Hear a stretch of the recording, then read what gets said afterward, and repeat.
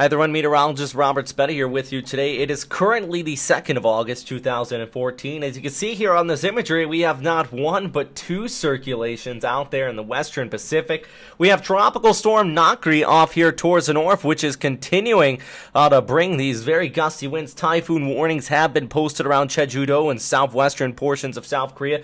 Not saying that there is going to be typhoon strength winds, but KMA has thought of it pertinent enough to put it out there and say that there is going to be that possibility possibility of some damaging weather. Meanwhile, western portions of Japan still experiencing pretty nasty conditions with Nakri as it pulls off there.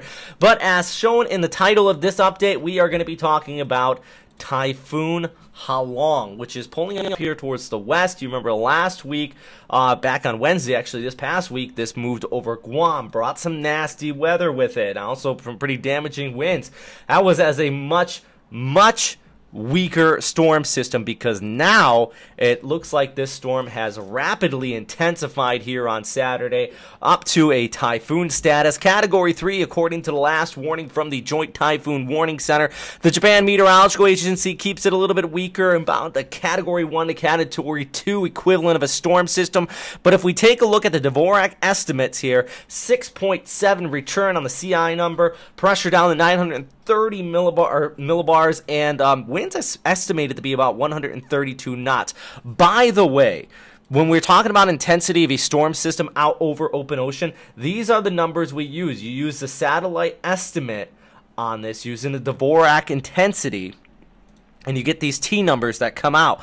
And right now, it looks like most of them are 6.7. So uh, you don't have hurricane hunters out here in the Western Pacific. This is how you get the intensity. And right now, it is showing this storm system, Halong, flirting with typhoon or super typhoon intensity if you're going off the scale that says super typhoons are at 240 kilometers per hour. According to China, this would already be a super typhoon, though, if you were going off their intensity scale. So, where is it going to be headed, regardless of what storm, what scale it is right now. Where is this going to be headed? Well, good news right now, it is currently a fish storm. This is out over the western Pacific. It's very pretty to look at. I mean, and what I mean by fish storm, only the fish are really being impacted. Some people in Yap are probably seeing outflow, same thing down there towards Palau, but at least over the next 24 hours, it's just the high waves cascading out from the center of circulation of this, well, rapidly intensifying storm system. As we look ahead through the next several days, it is expected to track off here towards the north and then towards the, well, basically northwest, or excuse me, northwest and then eventually towards the north. You see Nakri here, and you have that flow following in behind it. It's the same background flow that we had when Nakri pushed through. We have the high pressure ridge off here towards the east, so our storm system is going to flow around the western periphery of that and off here towards the north.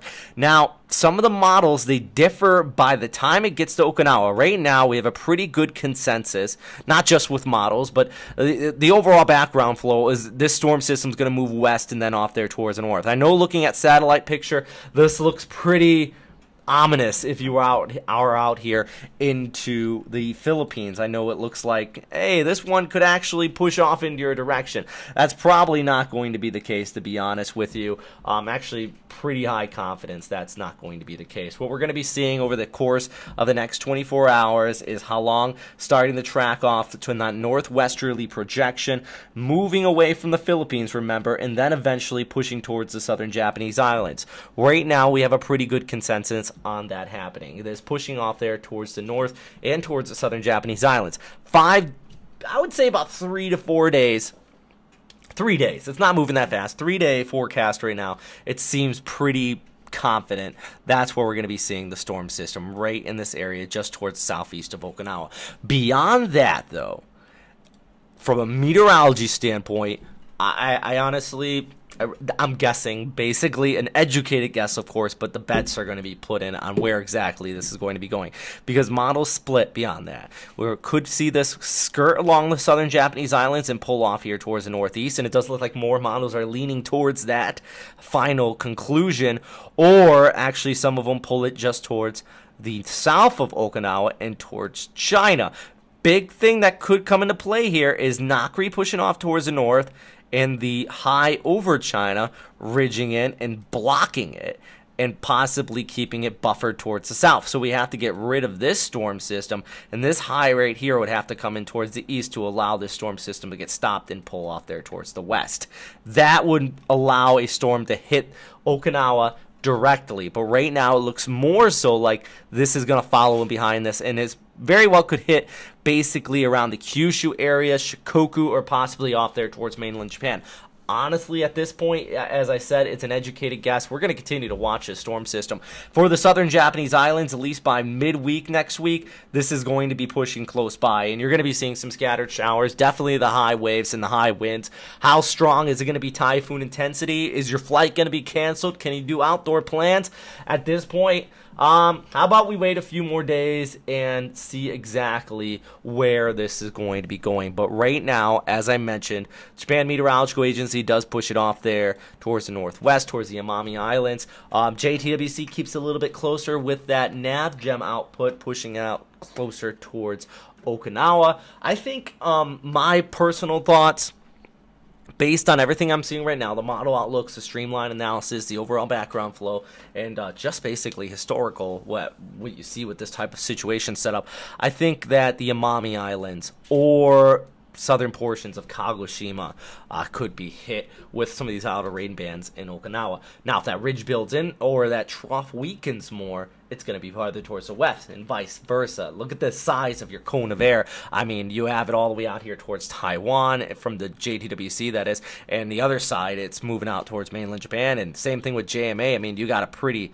pretty large cone of error on this storm system extending out through all of Okinawa and then extending out through Kagoshima and southern portions of uh, Kyushu.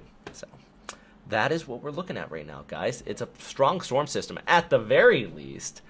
Um, as I mentioned before, it, it's definitely one of these typhoons. Take a snapshot of it and uh, post it up on your refrigerator because this is a pretty uh, beautiful storm system. Good news, it's out over the open ocean right now. Pretty well defined eye on it. Bad news, it is going to be headed somewhere eventually. This one isn't just going to stay out over open ocean. Somebody's going to be impacted by this eventually. All right, stay safe out there.